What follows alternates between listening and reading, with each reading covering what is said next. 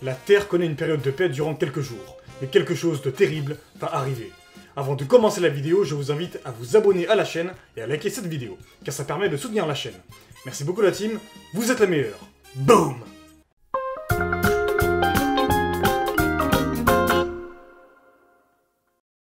Sur la planète Namek, un vaisseau apparaît et le père de Freezer sort pour inspecter les lieux. Il se demande qu'est-ce qui s'est passé. Après plusieurs recherches, il trouve les débris de Freezer par terre.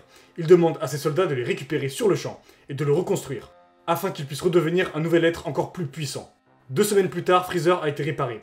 Il est désormais en Mecha Freezer. Le roi Cold lui dit Alors, Freezer, tu veux bien m'expliquer qu'est-ce qui s'est passé? Sangoku, c'est sûrement lui le Super Saiyan de la légende. On doit l'éliminer, et je veux ma revanche. Quoi? Le Super Saiyan de la légende? Oui, il ressemble beaucoup à son père d'ailleurs. Celui qui a retourné tous les Saiyans contre nous. Tu te souviens, je t'avais raconté ça. Je vois. Tel père, tel fils. Il m'a parlé de la Terre. C'est sûrement là-bas qu'il se trouve. Mais Vegeta, il ne travaille plus pour toi? Lui aussi, j'ai cru pendant une seconde que c'était lui le Super Saiyan. Sa puissance augmentait sans cesse. J'ai eu très peur durant un moment. Il faut l'éliminer sans pitié. À deux, on n'aura aucun problème à les vaincre. Tu es fou. On doit aller demander de l'aide à ton frère. Quoi, lui? Oui, on n'a pas le choix. Il pourra nous aider, t'inquiète pas. Je ne lui fais pas confiance, je te l'ai déjà dit. Mais si tu veux.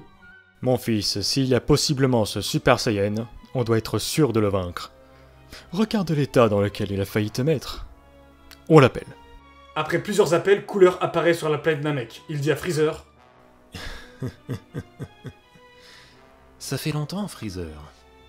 En effet. Ton frère et moi, on voudrait aller sur Terre pour éliminer les Saiyans. Ils ont failli ôter la vie de Freezer. Quoi? Qui a osé faire ça? Sangoku. Allons sur Terre. Tout de suite. Couleur prend son vaisseau et le roi Cold emmène Freezer dans son vaisseau. Ils arrivent au bout de quelques jours sur Terre. Gohan et Krillin sont sur le lieu où les vaisseaux apparaissent. Vegeta apparaît aussitôt car il sent l'énergie de Freezer. Celui-ci sort du vaisseau et lui dit Comme par hasard, je tombe sur toi. Tiens, comme c'est bizarre. Tu as changé d'apparence, mais ta force est tout autant minable. Je te rappelle que tu n'as pas été capable de me vaincre. Ah, tiens, Sangoku, Caulifla. Tu as ramené des renforts à ce que je vois, Freezer. Oui, je suis très bien accompagné, comme tu peux le voir. Je te présente mon père, ainsi que mon frère. Son père a une puissance très élevée. Malheureusement, ça ne sera pas suffisant pour nous vaincre, tu le sais. Comment ça? Est-ce qu'une personne comme toi a déjà senti une peur intense? Je te pose sincèrement la question, Freezer. Qu'est-ce que tu racontes? Vegeta se transforme en Super Saiyan devant tout le monde. Ils sont tous surpris. Gohan dit Il est devenu un Super Saiyan lui aussi. Quoi? Mais Son Goku aussi est un Super Saiyan. Je ne comprends pas. C'est le travail, Krillin. Durant tout ce temps, je cherchais à comprendre pourquoi je n'arrivais pas à me transformer. Mais en fait, c'était dans la tête depuis tout ce temps. J'avais ce pouvoir depuis le début. En me mettant dans des conditions environnementales extrêmement périlleuses, j'ai pu acquérir ce pouvoir de Super Saiyan. Alors, Freezer, qu'est-ce que tu en dis maintenant? Cela ne m'arrêtera pas de sitôt. Les trois méchants se préparent à attaquer la Z-Team. Goku se transforme à son tour en Super Saiyan. Vous n'irez pas plus loin. Quoi? Lui aussi est un Super Saiyan? Eh Vegeta, je te laisse Freezer, d'accord? Je démonte son frère et son père à la place. Je te fais un cadeau. Merci Kakarot. Mais ce n'est pas avec un cadeau que notre rivalité se stoppera ici. Je te vaincrai après ces combats. Y a pas de souci. Freezer attaque Vegeta de toutes ses forces et des coups s'échangent de partout. Vegeta semble avoir le dessus. Quant à Goku, il démonte très facilement le roi Cold, mais Couleur semble reculer pour préparer quelque chose. Il se transforme dans sa cinquième forme. Gohan note que sa puissance dépasse celle de Freezer. Goku reste quand même plus fort que Couleur malgré son power-up. Couleur envoie un supernova sur Goku, mais celui-ci l'arrête très facilement. Goku envoie un Kamehameha sur Couleur qui l'élimine aussitôt. De son côté, Vegeta envoie Big Bang Attack sur Mecha Freezer qui l'élimine à son tour. Ensuite, Vegeta dit à Goku Kakaroto, je vais prendre ma revanche maintenant. Vegeta, tu veux vraiment faire ça maintenant? Ben oui, pourquoi pas. Hey, arrêtez, c'est pas le moment. Qu'est-ce que tu fais là? Je t'avais dit de rester à la maison en plus. Te mêle pas de cette affaire. À la maison? Ah, j'ai compris. Qu'est-ce que j'ai raté moi? J'allais te le dire, Goku. Quoi? Oui. Et je vais vous arrêter de vous battre, juste pour savoir qui est le plus fort. Mais je veux ma revanche, moi. S'il te plaît. Soudain, Vegeta se calme et Goku dit Waouh, j'ai eu chaud, merci pour l'intervention. Il est vraiment balèze Vegeta avec le Super Saiyan. C'est incroyable que t'arrives à le raisonner comme ça, Sorette. Quand il s'entraîne avec Gon et Krillin, il est vraiment têtu. Mais va falloir que tu m'expliques quelques trucs. Viens par là. Caulifla explique à Goku qu'elle sort avec Vegeta depuis le précédent vœu des Dragon Balls. Elle lui explique qu'effectivement, sur Namek, Vegeta a sauvé sa vie plus d'une fois. C'est pour cela qu'elle serait tombée amoureuse. Trois ans passent et une attaque a lieu dans la ville. Goku sort directement pour voir ce qu'il se passe. Il y va avec Techin Han. Ils y voient deux étranges individus qui envoient des lasers partout. Goku dit à l'un d'entre eux Qui êtes-vous? Qu'est-ce que vous voulez ici? Son Goku, je viens ici pour contrôler le monde, mais surtout pour t'éliminer avec ta sœur. Tu te souviens du ruban rouge? Je vois votre logo, oui. Je ne sens pas leur énergie, c'est étrange. C'est parce que nous sommes des cyborgs. Je m'en fiche, je ne vous laisserai pas toucher à Caulifla. Venez nous combattre dans un autre lieu. Ils foncent vers un désert. Gohan, Caulifla, Krillin, Piccolo et Vegeta sentent l'énergie qu'émane Goku.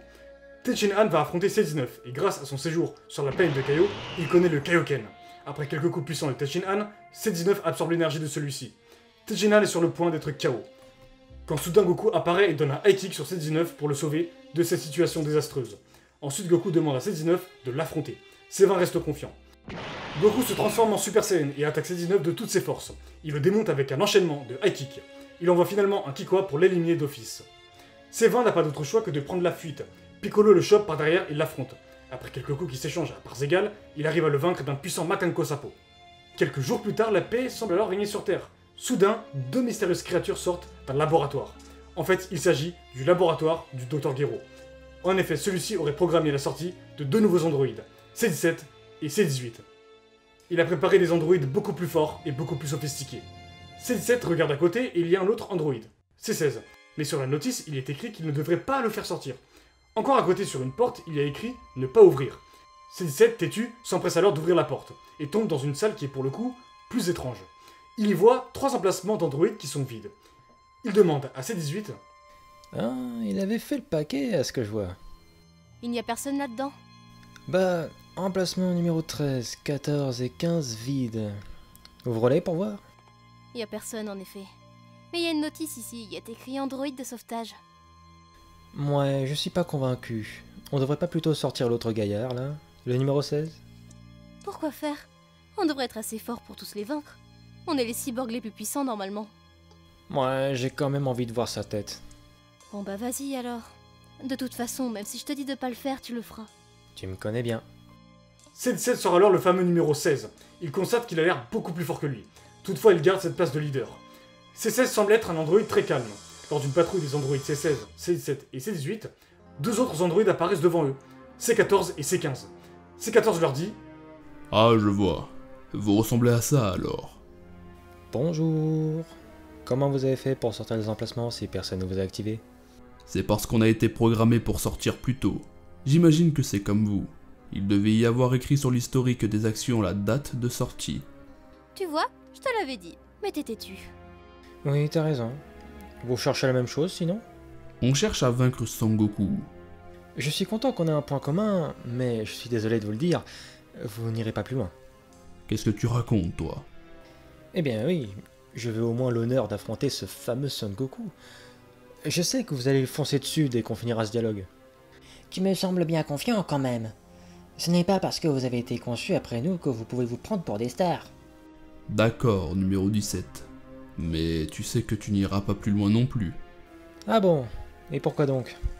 Euh, Qu'est-ce que vous comptez faire à deux? On est trois. Et votre copain numéro 13 est sûrement parti faire des je ne sais quoi à côté. Et puis, si ça se trouve, il a déjà trouvé Son Goku et Caulifla. Tu m'agaces. De son côté, Caulifla s'entraîne avec Gohan dans les montagnes. Soudain, une personne apparaît. C'est 13. Caulifla lui dit T'es qui toi? Quel accueil Je n'attendais pas moins que ça. J'aimerais que tu me dises où est Sangoku. Puis ensuite, je t'éliminerai. Tu ne m'as pas l'air d'être si puissante. Je laisserai en vie ton gosse. Ça te va? Pauvre imbécile Ce n'est pas mon gosse, c'est celui de Son Goku. Et si tu le touches, tu vas avoir des ennuis, je te le dis. Hey, numéro 13, je te conseille de partir car tu vas prendre une raclée dans quelques secondes. Qu'est-ce qu'il veut, le gamin Tu comptes faire quoi avec ta puissance de 130 millions d'unités? M'envoyer un qui quoi Je ne contrôle pas ma puissance quand je m'énerve. Je suis désolé par avance si je te fais des dégâts. Mais pas de souci. Montre-moi quelle est ta puissance quand tu t'énerves, gamin. Gohan attaque C13, mais celui-ci lui met une patate très sévère. Caulifla arrive aussitôt pour affronter C13. En forme de base, elle se fait démonter. Mais juste après, elle se transforme en Super Saiyan et met une patate à C13. Celui-ci prend immédiatement la fuite. Caulifla envoie Kikoa surpuissant vers C13 qui se le prend dans la figure. Il semble avoir été vaincu. Caulifla repart avec Gohan, prévient Goku et les autres. Du côté des androïdes, un combat va se lancer. Il y a une véritable battle royale entre tous les androïdes ici présents. C17 a nettement l'avantage et démonte C14. Ensuite, il démonte C15 très facilement. Puisque de l'énergie a été envoyée partout dans la zone, Goku et les autres apparaissent peu de temps après sur le lieu du combat. C17 le remarque et dit Ah bah voilà Son Goku Ah, Il a Caulifla aussi. Ah, vous nous facilitez le processus. hein. J'admire votre courage.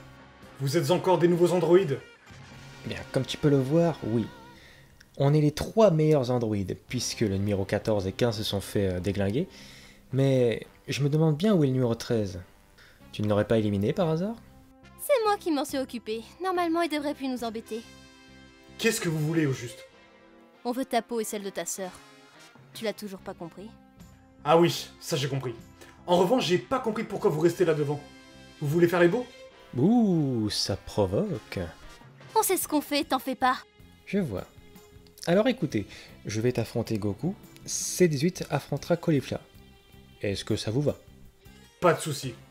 C17 fonce alors sur Goku de toutes ses forces. Goku se met directement en Super Saiyan et l'attaque aussi. C17 a largement le dessus et il lui met des hacks dans la figure, qui sont très sévères. Il lui envoie aussi des Kikoa puissants. Piccolo va se joindre à lui, mais ils se font tous les deux démonter. De son côté, Caulifla engage un combat avec C18. Ce combat semble être plutôt serré, en faveur de Caulifla. Soudain, C18 se retire du combat car elle voit qu'elle est en difficulté. C16 vient à sa rescousse. Pour le coup, Caulifla se fait démonter cette fois-ci. Goku fonce sauver sa sœur, mais il se fait mettre KO par C16. Caulifla prend son frère dans ses bras et tente de prendre la fuite, mais C16 lui arrache Goku des bras. Quand tout d'un coup, un Kiko venu de nulle part fait surface. C16 dit Qui c'est qui a envoyé ça? Salut les mecs. Censée t'avoir vaincu Pourtant non, je suis bien en chair et en os, regarde. On a déjà éliminé tes confrères C14 et C15. Qu'est-ce que tu nous veux maintenant? Donnez-moi Sangoku et je vous laisserai tranquille. Si tu le veux, tu vas devoir m'affronter. C16, lâche-le par terre, de toute façon, il ne va plus rien faire dans cet état. C16 laisse Goku tomber par terre et Caulifla arrive d'une vitesse rapide et le prend pour donner Goku à Krillin. Celui-ci a des senzu et il est prêt à leur en donner. Krillin donne les senzu à Goku et à Caulifla. Ensuite, Vegeta arrive à la rescousse juste après. Il dit à Caulifla Qu'est-ce qui se passe ici? Ce sont des nouveaux androïdes qui veulent ma peau et celle de mon frère. Quoi? Ils veulent enlever Kakarot? Ils sont fous. Ils sont vraiment forts. Il n'y a que C18 qu'on pourrait vaincre individuellement. C17 est plus fort qu'elle, et C16 est d'un tout autre niveau. Surtout qu'il possède une énergie inépuisable, alors que nous, notre endurance baisse au fur et à mesure du combat. Tu vois? Oui, mais on va pas se laisser faire. Puis je n'ai pas besoin de combattre en groupe. Je combattrai très bien tout seul. Hey, fermez-la Regardez, on n'aura même pas besoin de les combattre à nouveau. Ils sont en train de s'embrouiller. C13 attaque C17 et arrive à le prendre par surprise. Toutefois, C17 lui envoie des hacks très puissants. Il se retire du combat et dit Ok, à ce que je vois, tu es fort. Ton ami numéro 16 doit avoir un sacré niveau aussi. Je peux t'envoyer C18 si tu veux. Vous devez avoir la même force. Enfoiré, me rabaisse pas ce niveau ridicule. Ah, et pourtant. D'accord, puisque c'est comme ça, je vais utiliser la dernière option qu'il me reste. Les puces de C14 et de C15 s'allument bizarrement et arrivent sur le corps de C13 tel des aimants. C13 les absorbe et là, il se transforme en Super C13. Toute la Terre se voit être secouée. C17 fonce sur Super C13 et il se fait démonter. Il se fait éliminer en un seul coup de poing. Ensuite, C18 prend la fuite, les Vegeta et Gohan arrivent à la suivre. Et ils arrivent à la vaincre, mais ils ne l'éliminent pas. C16 se retrouve face à Super C13 et le combat semble plutôt équilibré. Mais Super C13, en plus d'avoir une force monstrueuse, lui aussi possède une endurance infinie, comme C16. De ce fait, il arrive à gravement blesser C16. Celui-ci dit aux autres Les gars, si on ne s'allie pas, on ne pourra pas le vaincre. Tu crois qu'on va s'allier avec toi, espèce de tas de ferraille? Regardez-le, il est beaucoup trop fort. Si on l'attaque tous en même temps, on pourrait peut-être y arriver. Goku se transforme en Super Saiyan ainsi que Vegeta, Caulifla et Gohan. Piccolo et Krillin se préparent aussi à attaquer et ils y vont tous en même temps. Super C13 est si fort qu'il arrive à les gérer tous en même temps. Le seul qui arrive vraiment à mettre des coups est C16, mais Super C13 les renvoie tous au loin. Goku a alors une idée. Il va demander à C16 de lui envoyer de l'énergie. Il compte créer un Genkidama constitué en grande partie de l'énergie de C16. Durant ce temps, les autres font une distraction, mais ils se font démonter. Ils sont gravement blessés. Goku est prêt à envoyer le Genkidama, mais il préfère faire autre chose. Il va prendre la boule d'énergie et la mettre dans sa main, puis envoyer un coup surpuissant sur Super C13. Ce coup a eu pour résultat d'anéantir Super C13 qui est désormais vaincu. Par la suite, Goku dit à C16 Tu tiens toujours à m'affronter? Je ne suis pas foncièrement méchant, et toi non plus à ce que je vois. Je n'ai pas besoin de suivre les ordres du docteur Gero. Si tu veux, tu pourrais venir à la Capsule Corporation. On pourrait te réparer correctement. C'est gentil, merci. On en fait quoi de celle-là? On l'élimine évidemment. S'il te plaît, non Quoi, tu vas t'y mettre toi aussi? Elle est blessée. Il faut qu'on la soigne. Tu te fiches de moi? Elle a fait la misère à Caulifla. Elle suivait simplement des ordres. Laisse-la partir. Oui, laisse tomber Vegeta. Elle a aucune mauvaise intention, je te le jure. Je ne suis pas comme mon frère, je vous l'assure. Oui, cause toujours pour te sauver. C'est bon, Vegeta, laisse. Elle est sincère, ça se voit. Ouais, bon, bref, je dois devenir plus fort. S'il y en a un qui se rebelle ou qui fait quoi que ce soit, je l'élimine directement. C'est compris? Ils ont compris, je pense. Vegeta, on devrait faire un tour dans la salle de l'esprit et du temps. C'est quoi ce truc? C'est une salle où un jour terrestre équivaut à un an. Pour les prochains androïdes qui arriveraient, on pourrait bien progresser. Tu ne trouves pas? C'est une belle idée. Il n'y a que deux personnes à la fois qui peuvent entrer dans la salle. Donc, je peux y aller avec toi? Oui, si tu veux.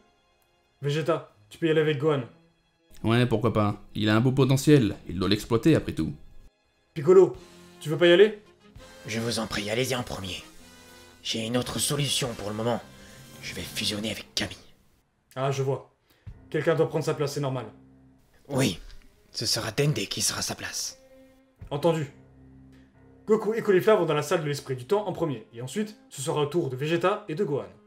Durant ce temps, sur la planète Namek, les habitants d'un village remarquent qu'il y a une sorte de météorite qui se rapproche de plus en plus vers la surface de la planète.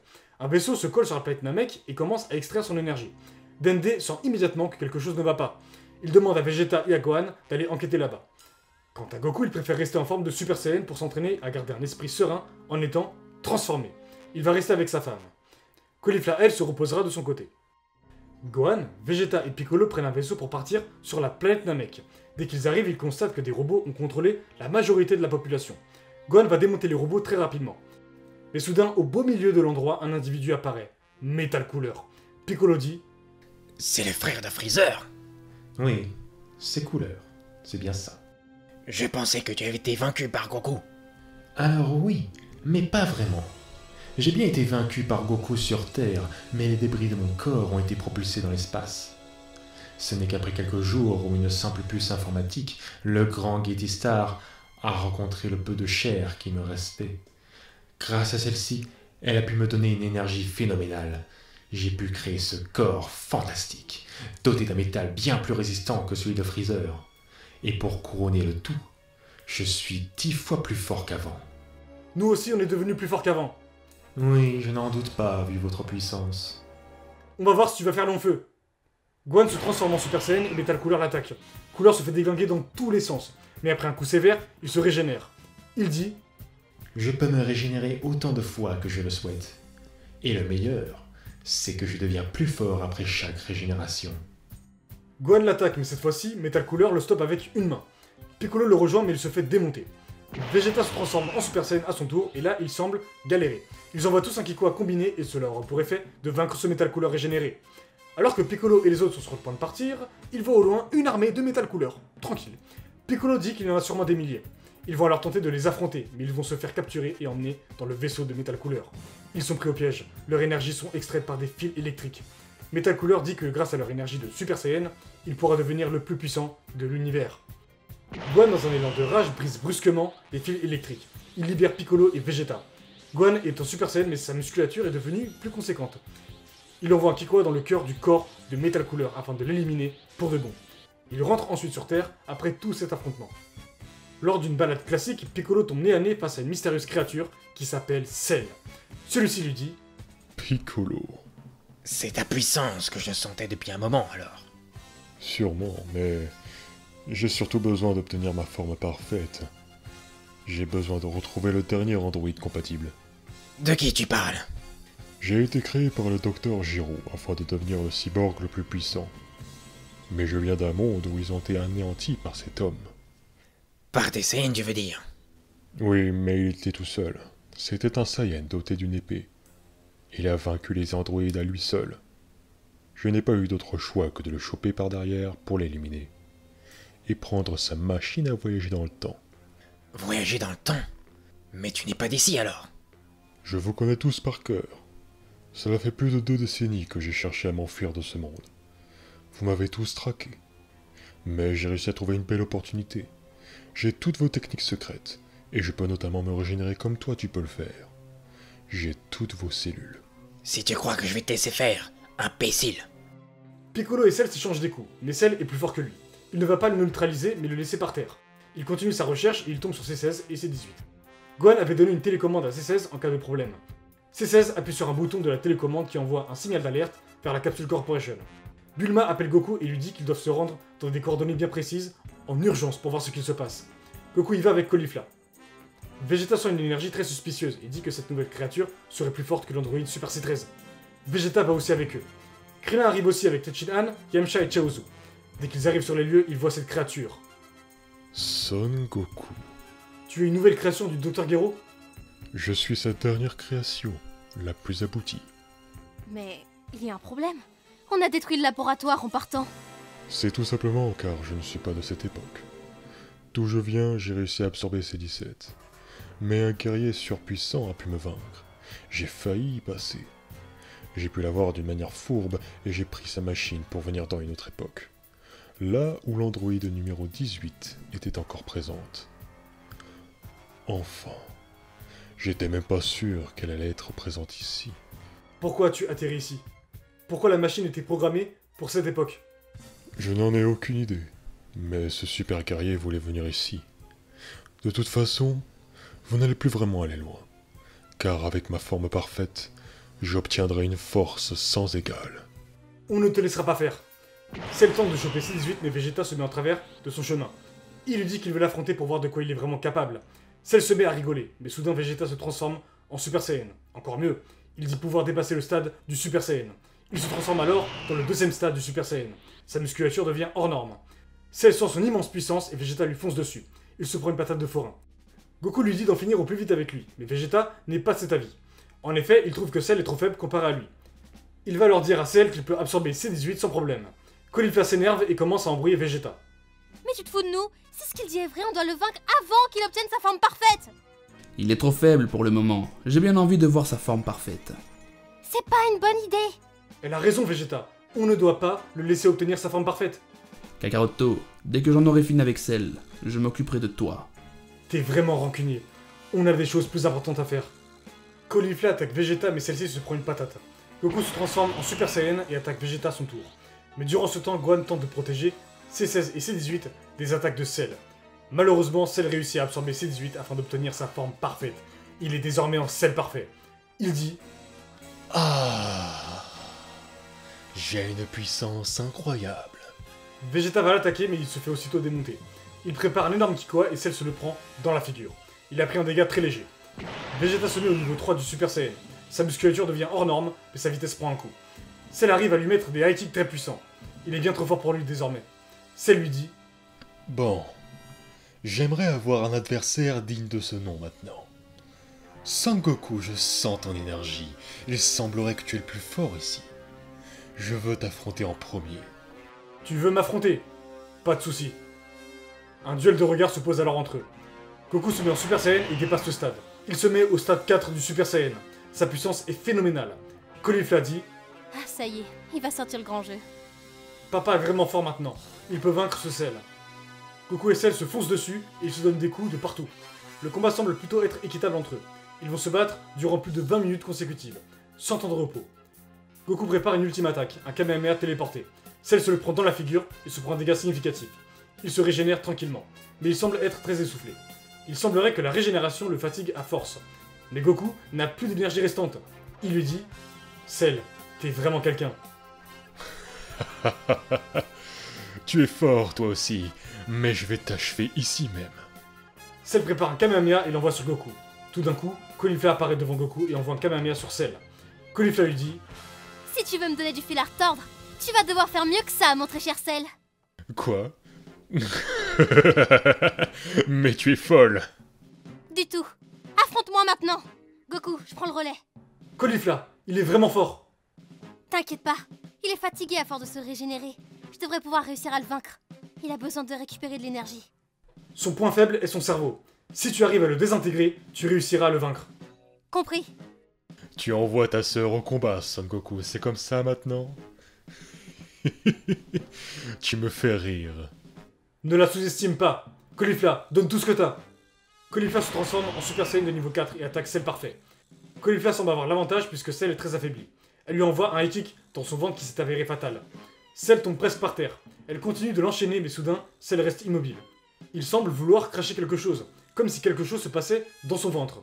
Il recrache C18 et cela aura pour effet de le faire repasser dans sa forme précédente. Caulifla lui dit Tu n'as plus aucune chance, ça y est. Caulifla, vas-y, tu peux le vaincre. Je suis censé être le plus fort de l'univers. Je ne comprends plus rien. En effet, tu n'y comprends plus rien. Tu t'es pris une raclée par une femme Saiyan. Caulifla, achève-le, dépêche-toi. On n'est pas pressé quand même. Vous vous foutez de moi. C'est ça? Vous savez pas de quoi je suis capable. Tu joues à quoi? Dépêche-toi de l'achever. Puisque c'est comme ça, je vais détruire la Terre. Je vous déconseille de me toucher, sinon vous allez y passer. C'est fini. Vous ne pouvez plus gagner. Quoi? Oui, je sais très bien que je ne pourrai pas vous vaincre de manière orthodoxe. Alors de cette manière-là, je pourrais tous vous avoir. Tant pis Mince. Si j'avais été plus rapide, j'aurais pu l'avoir plus tôt. Tu vois Qu'est-ce que je t'avais dit, bon sang? On ne négocie pas avec un taré pareil. J'aurais dû t'écouter, pardon. C'est bon. On va bien trouver une solution. Vous êtes foutus Faites vos adieux, la Terre sautera dans exactement une minute.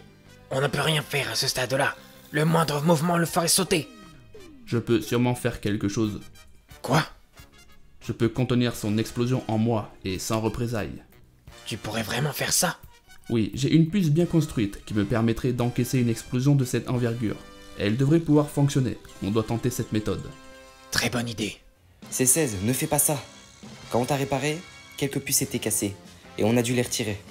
On ne les a pas encore arrangées. Ah, c'est compliqué là. Qu'est-ce qu'on va faire pour ce monstre? Maître Caillot, je ne peux pas me téléporter car je n'ai plus d'énergie. Oui, je sais ce qu'il se passe. Est-ce que tu peux me téléporter avec lui sur ta planète? Quoi? Mais tu es fou, Goku Si je l'emmène ici, il va faire de gros dégâts Tous mes proches vont y passer sinon. Je te promets qu'on te ressuscitera avec les Dragon Balls. Bon, très bien. Touche-le et je te téléporte dès qu'il reste quelques secondes. Merci beaucoup, Maître Caillot Ensuite, Goku se téléporte à côté de Cell. Caulifla lui dit Qu'est-ce que tu fais? Caulifla, je vais te demander de bien prendre soin de Chichi et de Gohan. Hein? Je vais l'emmener quelque part là où vous ne serez pas touché. Et toi? C'est pas grave pour moi, ne t'en fais pas. Mais je vais faire comment sans toi? Tu as vaincu la forme parfaite de Cell, chose que je n'ai pas pu faire. Tu es la plus forte des Saiyans ici même. Je ne l'ai pas vaincu. Si. Regarde-moi. Prends soin de toi.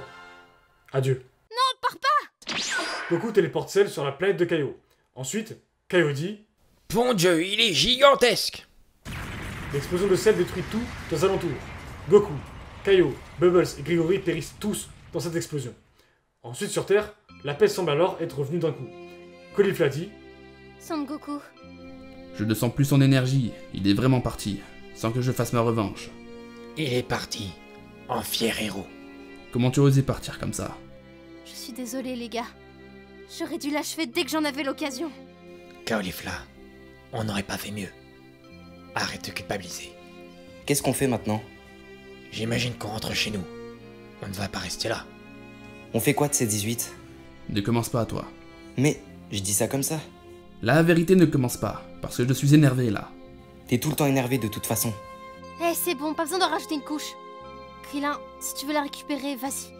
Elle a probablement besoin de soins. Ramène-la à la Capsule Corporation avec ses 16 et ensuite, reposez-vous. De toute manière, ils ne représenteront plus une menace pour nous. Et ils semblent être nos alliés maintenant. Bien sûr, vous êtes de bonnes personnes après tout. Qu'est-ce que c'est que ça? Une terrible énergie se fait ressentir à travers toute la Terre. Il y a beaucoup de vent. Et là, un Kikwa surpuissant arrive sur Vegeta. Il tombe par terre. Gohan dit C'est Cell